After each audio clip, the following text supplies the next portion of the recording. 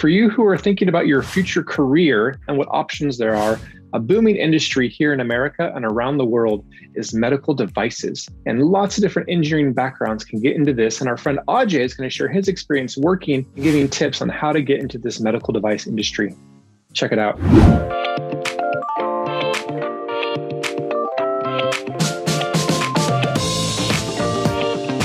Hey, friends, welcome to Chai and Coaching.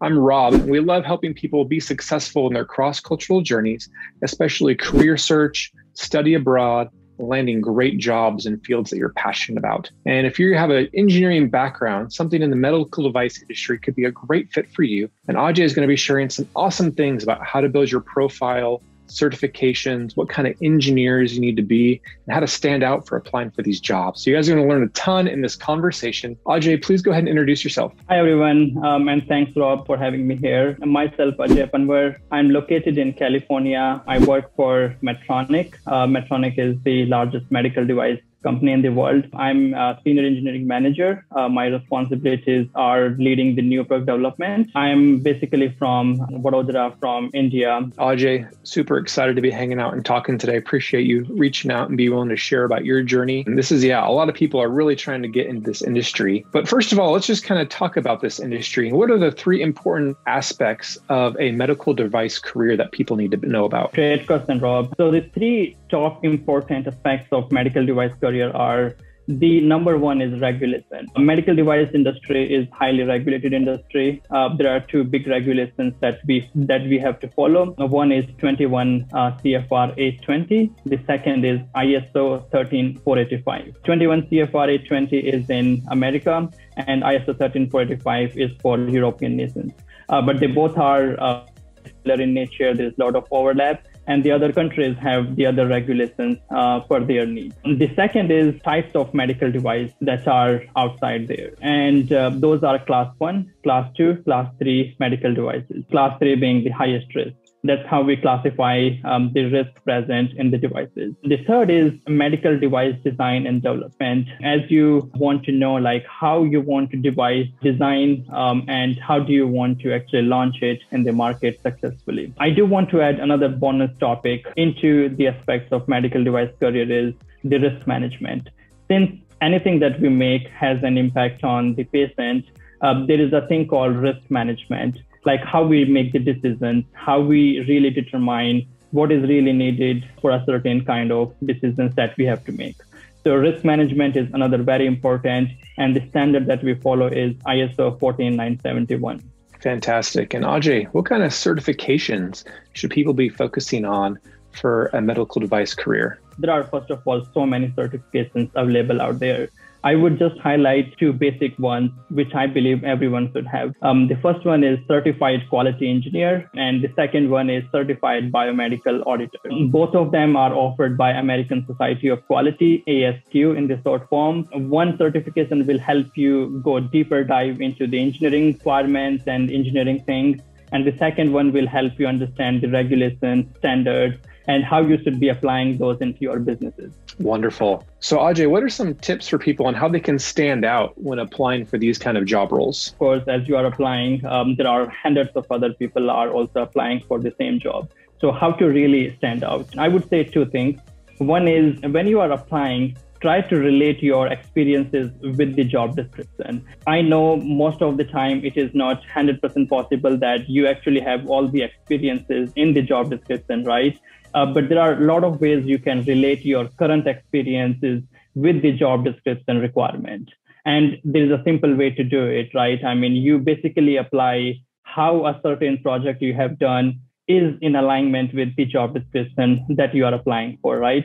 So create and customize your resume according to that. The second is there are a lot of basic things that uh, we have to do in the medical device field, such as engineering change order, validations, which are IQ, OQ, PQ. They are very basic single skills. As you are applying through these jobs, I would recommend to start learning at least one skill at a time. It will take you maybe a couple of days or a week to really get a good understanding of that topic. I would add that skill to your resume as you are gaining understanding of those. You do not need to have deep expertise or deep understanding. You just need to have a good understanding of those. As you progress through your roles or as you are progressing through uh, your job applications, this will help you stand out and will set you apart from the other candidates. Amazing. So, friends, our chai question for you guys is what medical device company do you want to work for? Go ahead and tell us in the comments. Uh, Ajay, he's right now working at Medtronic, one of the biggest uh, medical device companies, you know, in America, in the world. And yeah, let us know in the comments which company or job roles in medical devices you guys are interested in pursuing. And also with the resources that he's talked about, especially the certifications, we'll have links in the video description for those as well. Now, Ajay, Let's talk about the types of engineering roles that exist there for medical devices. I think this is one of the common question, or maybe one of the question that people are not really aware of. Like, what kind of engineering roles are there? People just go ahead and start searching engineering roles in medical device industry, but there are so many other roles that are available within the medical device industry. I would start with first R&D, research and development. Second is quality engineering. So quality engineering is again an engineering role where you apply the quality principles um, into the product. Third is manufacturing engineering, where you are responsible for the manufacturing of the medical device. Fourth is field engineering.